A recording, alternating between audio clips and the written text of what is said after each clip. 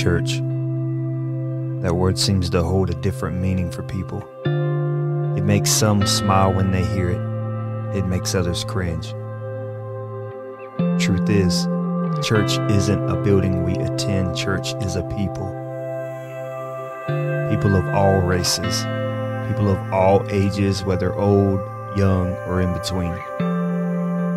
It's people of all social statuses, whether politician, businessman, or beggar, rich or poor, living in a nice house or homeless. The church is built by everyone centered around two things Christ and each other.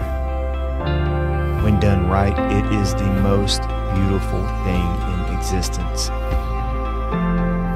I could tell you all day about the church